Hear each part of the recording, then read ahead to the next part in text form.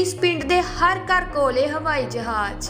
ਸਬਜ਼ੀ ਰਾਸ਼ਨ ਲੈਣ ਲਈ ਵੀ ਭਰ ਲੈਂਦੇ ਨੇ ਉਡਾਨ ਹਾਂਜੀ, ਸਤਿ ਸ਼੍ਰੀ ਅਕਾਲ ਦੋਸਤੋ, ਮੈਂ ਹਾਂ ਨਿਮਰਪ੍ਰੀਤ ਕੌਰ ਤੇ ਤੁਸੀਂ ਵੇਖ ਰਹੇ ਹੋ ਲਵ ਫੋਰਐਵਰ ਚੈਨਲ ਅੱਜ ਕੱਲ ਹਰ ਕਿਸੇ ਦੇ ਘਰ ਕੋਈ ਨਾ ਕੋਈ ਵਾਹਨ ਹੈ ਚਾਹੇ ਉਹ ਬਾਈਕ ਹੋਵੇ ਜਾਂ ਕਾਰ। ਪਰ ਜਿਸ ਪਿੰਡ ਬਾਰੇ ਅੱਜ ਅਸੀਂ ਤੁਹਾਨੂੰ ਦੱਸਣ ਜਾ ਰਹੇ ਹਾਂ ਉੱਥੇ ਲੋਕਾਂ ਕੋਲ ਦੋ ਜਾਂ ਚਾਰ ਪਹੀਆ ਵਾਹਨ ਨਹੀਂ, ਸਗੋਂ ਹਵਾਈ ਜਹਾਜ਼ ਹੈ ਹਾਂਜੀ ਦੋਸਤੋ, ਉਹਨਾਂ ਲਈ ਇਹ ਉਨੀ ਆਮ ਗੱਲ ਏ ਜਿੰਨੀ ਸਾਡੇ ਲਈ ਸੜਕ ਤੇ ਗੱਡੀ ਚਲਾਉਣਾ। ਜੇਕਰ ਉਹਨਾਂ ਨੂੰ ਛੋਟਾ-ਮੋਟਾ ਕੰਮ ਪੈ ਜਾਵੇ, ਤਾਂ ਉਹ ਕੱਢ ਲੈਂਦੇ ਨੇ ਜਹਾਜ਼। ਇਹ ਕੋਈ ਮਜ਼ਾਕ ਨਹੀਂ ਦੋਸਤੋ। ਅਸਲ 'ਚ ਅਮਰੀਕਾ ਦੇ ਕੈਲੀਫੋਰਨੀਆ 'ਚ ਇੱਕ ਅਜਿਹਾ ਮੌਜੂਦ ਪਿੰਡ ਏ, ਜਿੱਥੇ ਹਰ ਕਿਸੇ ਦੇ ਘਰ ਦੇ ਸਾਹਮਣੇ ਕਾਰ ਦੀ ਥਾਂ ਤੇ 에ਅਰਕ੍ਰਾਫਟ ਖੜਾ ਹੈ ਉਹ ਜਿੱਥੇ ਵੀ ਜਾਣਾ ਚਾਹੁੰਦੇ ਨੇ, ਜਹਾਜ਼ ਦੀ ਵਰਤੋਂ ਕਰਦੇ ਨੇ। ਇਹ ਪਿੰਡ ਸਭ ਤੋਂ ਪਹਿਲਾਂ ਉਦੋਂ ਚਰਚਾ ਦੇ ਵਿੱਚ ਆਇਆ ਸੀ, ਜਦੋਂ ਇਸ ਨਾਲ ਸੰਬੰਧਿਤ ਵੀਡੀਓ ਸੋਸ਼ਲ ਮੀਡੀਆ ਤੇ ਵਾਇਰਲ ਕਰਨਾ ਸ਼ੁਰੂ ਕਰ ਦਿੱਤੀਆਂ। ਇੱਥੋਂ ਤੱਕ ਕਿ ਇਸ ਤਰ੍ਹਾਂ ਦੀਆਂ ਸੜਕਾਂ ਵੀ ਰਨਵੇ ਵਰਗੀਆਂ ਲੱਗਦੀਆਂ ਨੇ। ਹਰ ਘਰ ਦੇ ਸਾਹਮਣੇ ਖੜਾ ਹੈ ਜਹਾਜ਼। ਕੈਲੀਫੋਰਨੀਆ ਦੇ ਕੈਮਰਨ 에ਅਰ ਪਾਰਕ ਨਾਮ ਦੀ ਇਸ ਜਗ੍ਹਾ ਤੇ ਆਮ ਸੜਕਾਂ ਨਹੀਂ ਹੈ। ਸਗੋਂ ਬਹੁਤ ਚੌੜੀਆਂ ਨੇ।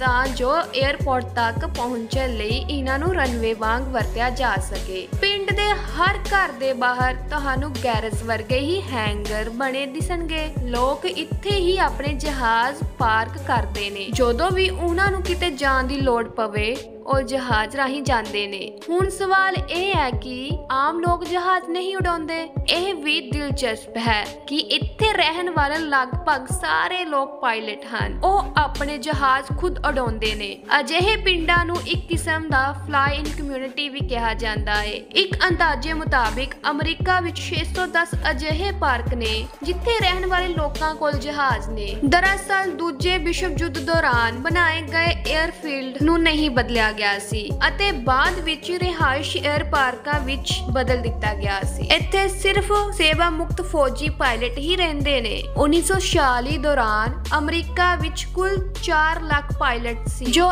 ਅਜਿਹੇ ਹਵਾਈ ਪਾਰਕਾਂ ਵਿੱਚ ਰਹਿਣ ਲੱਗੇ। ਕੈਮਰਨ ਪਾਰਕ ਵੀ 1963 ਵਿੱਚ ਬਣਾਇਆ ਗਿਆ ਸੀ ਅਤੇ ਇਸ ਵਿੱਚ ਕੁੱਲ 124 ਘਰ ਨੇ। ਹਾਂਜੀ, ਇਸ ਵੀਡੀਓ ਨੂੰ ਵੱਧ ਤੋਂ ਵੱਧ ਸ਼ੇਅਰ ਜ਼ਰੂਰ ਕਰਿਓ। ਤਦ ਤੱਕ ਮਿਲਦੇ ਹਾਂ ਕਿਸੇ ਨਵੀਂ ਵੀਡੀਓ ਦੇ ਨਾਲ। dann war